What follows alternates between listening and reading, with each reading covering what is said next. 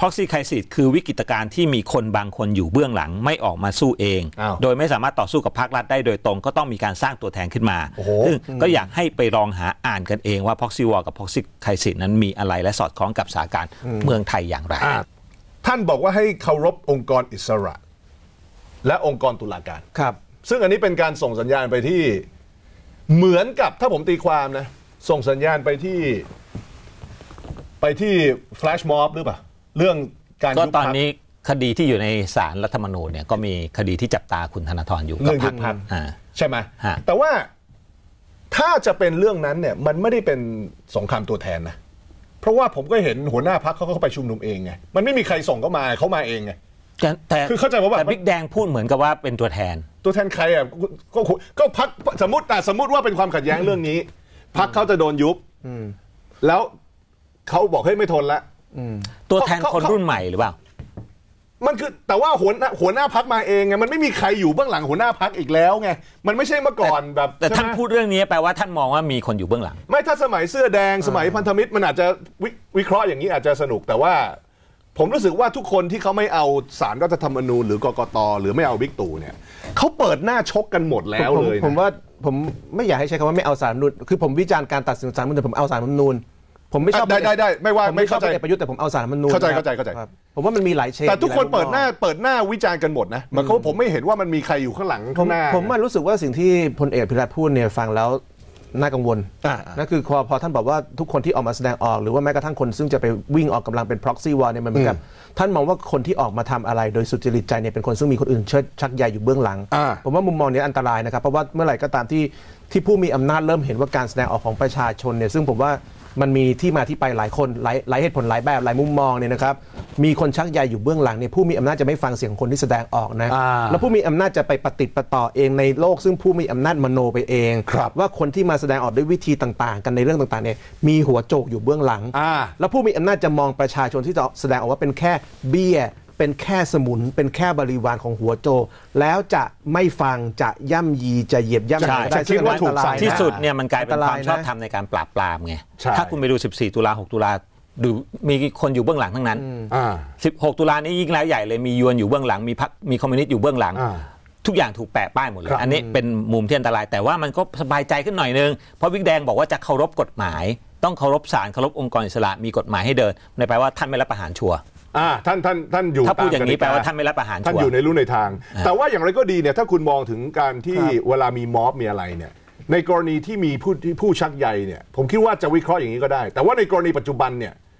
มันไม่มีใครชักใยอะเพราะมันออกไจำเป็มันออกมากันหมดเลยอะคือคือทุกวันนี้อะพลพลเอกอภิรัตน์เป็นคนชอบพูดเองว่าคนรุ่นใหม่เขาใช้โซเชียลมีเดียกันเยอะเขามากันเอง คือการเสื่อสารกันเองการการเกิดแฟลชม็อบเนี่ยมันเป็นการเกิดโดยที่มันไม่ต้องมีใครชักใยใครนะครับอ่าอ่ามัมันแค่โพสต์ข้อความในทวิตเตอร์ไปว่า ไปรวมตัวกันไหมคุณก็มันจะมันต้องใช้อ่า คือคือท่านมีทีมทหารทีมความมั่นคงสอดแนมม็อบเยอะเนี่ยครับท่านเห็นสภาพแบบเมื่อก่อนไหมล่ะว่าจะต้องมีรถบัสมีรถทัวร์ขนประชาชนมาไม่มีอะแบบสมัยคนปีไปเองนั่งแท็กซี่ไปนั่งวินมอเตอร์ไซค์ไปนั่งรถไฟฟ้าไปอะต้องขนมันมาต้องจากมาชักใยอะไร ใช่มีมีจอมหัวโจกจ่ายค่า BTS ให้ประชาชนคนละ30 บาท เออ ไปชุมนุมเหมือนกันอ่าอย่างนั้นค่อยค่อยว่ากันคือใช่ไหม เรื่องพวกนี้เนี่ยหน่วยงานความมั่นคงมีข้อมูลหมดเพราะฉะนั้นมีข้อมูลหมดเนี่ย พบทบต้องแม่นยำในการประเมินสถานการณ์ ถ้าถ้าประเมินผิดมองประชาชนผิดมันเรื่องยุ่งครับแล้วปัญหาที่พบทบพูดว่า proxy crisis เนี่ยมันจะเกิดปัญหาใหม่คือ legitimacy crisis ครับครับพอประชาชนแสดงออกอย่างสุจริตใจ แต่พบทบคิดไปเองว่าประชาชนมีคนชักใยอยู่เบื้องหลังเนี่ย อะสมมติถึงคุณปื้มคุณชูวัฒน์เนี่ยนะแสดงออกอะไรอย่างบริสุทธิ์ใจสักอย่างเลยเนี่ยนะแล้วอยู่ดีมีผู้มีอำนาจมาชี้ว่าเฮ้ยคุณอย่างคุณเนี่ยมันคิดเองไม่ได้มีคนมันมีคนอยู่เบื้องหลังเนี่ยสั่งความรู้สึกเราเป็นยังไงเออความรู้สึกเราก็จะตีกลับไปยังผู้มีอำนาจว่าคุณหรือนั่นแหละมีปัญหาเรื่องความชอบธรรมหรือคำว่า proxy ของแกเนี่ยถ้ามองแกในงานแบบแบบวิชาการหน่อยเนี่ยแกมองว่า proxy หมายถึงตัวแทนคนรุ่นใหม่หรือเปล่าอ่า ผมว่าน้ำเสียงไม่ใช่อย่างนั้นนะเพราะคนรุ่ตัวนใหแทม่นมันชนชั้น คนรุ่นใหม่มันไม่ได้ชักใยธนาธรมันก็ไม่ได้เออเออมันธนาธรเข้ามาเองก็ไม่ได้ใช่ไหมมอง proxy แบบนั้นไม่ได้ใช่ไหมผผมว่าพบทบคนนี้เป็นคนชอบอ่านแนวคิดใหม่ๆ ผมว่าท่านลองอ่านหนังสือของเจอร์เกนฮาเบอร์มาสนะครับ legitimacy crisis ครับระบบซึ่งไม่สามารถอธิบายได้ว่าตัวเองอยู่ไปเพื่ออะไรอ้าวจนคนในสังคมตั้งคำถามว่าทำไมต้องมีระบบนี้ ผมว่าต้องเข้าใจแนวคิดพวกนี้นะ ไม่อย่างนั้นจะมองว่าประชาชนที่อึดอัดเนี่ยถูกหลอกถูกคนปั่นหัวฮะแต่ถ้าท่านลองศึกษาแนวคิดแบบนี้ให้มากขึ้นว่า สิ่งที่เรียกว่าเอ่อ proxy crisis เนี่ยแนวคิดอีกแบบหนึงคือมันมี legitimacy crisis หรือวิกฤตด้านความชอบธรรมของระบบเนี่ยครับครับ ถ้าท่านมีมุมมองแบบนี้ท่านจะเห็นโลกอีกแบบหนึ่ง เราจะลองฟังท่านผู้บัญชาการฐานบกนะครับพลเอกอภิรัตคงสมพงศ์นะครับ พูดถึงเรื่อง proxy crisis นี้นะฮะนี้เมื่อเช้านะครับที่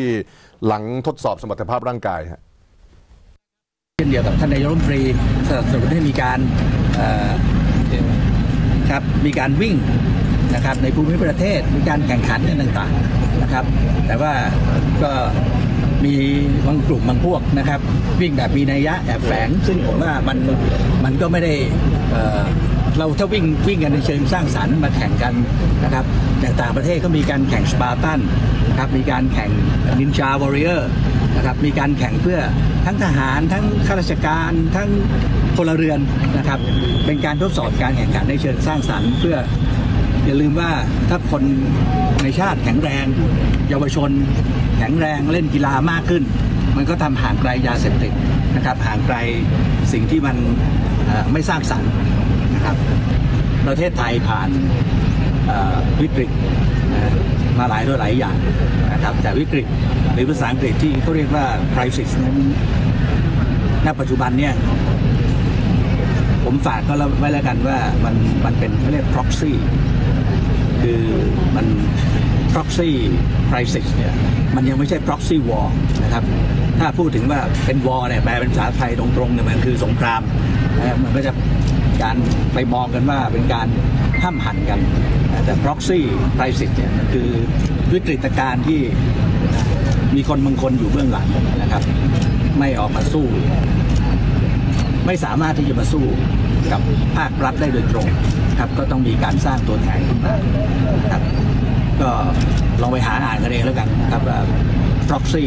war หรือ proxy crisis นั้นมันคืออะไร แล้วก็มันจะสอดคล้องกับสถานการณ์เมืองไทยขณะนี้คือเรื่องเรื่องสงครามที่มีตัวแทนเนี่ยนะฮะเอ่อยกตัวอย่างมันมีจริงในประเทศเยเมน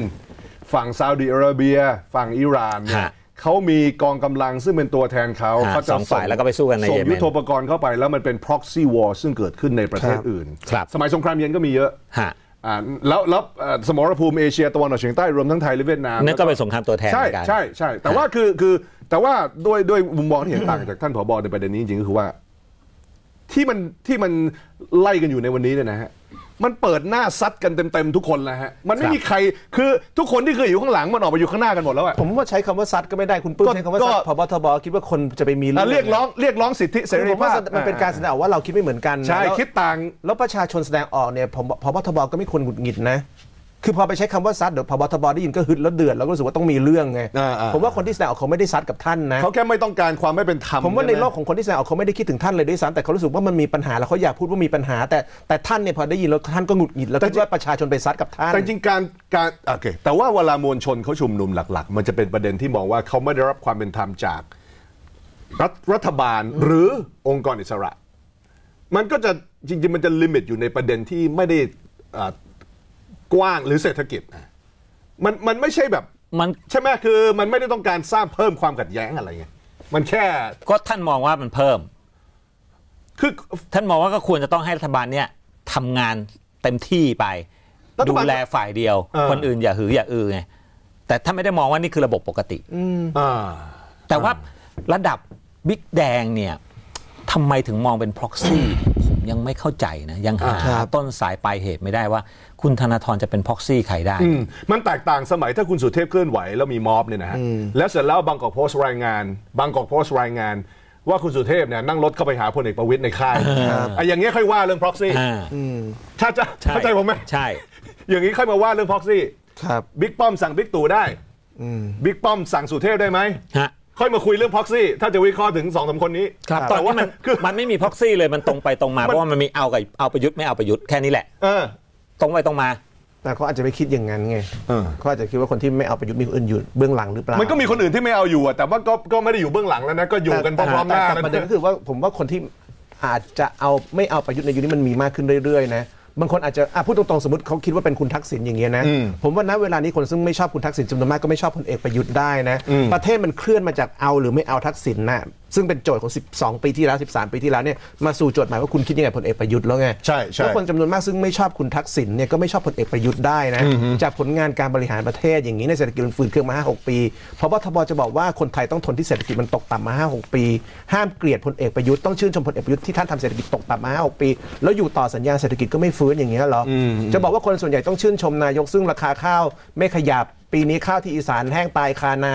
ค่าแรง4ีหปีขยับ 10 บาท ประชาชนต้องชื่นชมนายกแบบนี้เหรอผมว่าไม่ใช่อะอย่างอย่างหุ้นอย่างนี้เนี่ยสิปีนี้อาจารย์นิเวศกูรูหุ้นเนี่ยบอกว่า 10 ปีหรือ 7 ปีหลังเนี่ยตลาดหุ้นมันไม่เติบโตเลยอะเจ็ดปีที่แล้วมันอยู่ประมาณ 1,500 ปี 62 มันอยู่ 1,500 เนี่ย คนมีเงินที่ลงทุนในตลาดหุ้นเขาต้องพอใจที่นายกทำให้ประเทศเป็นแบบนี้เหรออเอาเงินไปซื้อ LTF IMF กองเงินไว้ 7 ปีกำไรไม่เพิ่มเลยอย่างเงี้ยครับเราต้องพอใจนายกเหรอครับ ครับ เรามีสิทธิ์ไม่พอใจได้แล้วการไม่พอใจไม่ได้แปลว่า เรามีใครหนุนหลังเรานะ อืมเรามีสติปัญญาคิดเองได้ว่าชีวิตเรามันตกต่ำลงขนาดไหนความยากจนมันเพิ่มขนาดไหน ฮะ การหาเงินหาทองมันฝืดเคืองขนาดไหนทำไมผบตบต้องมองว่า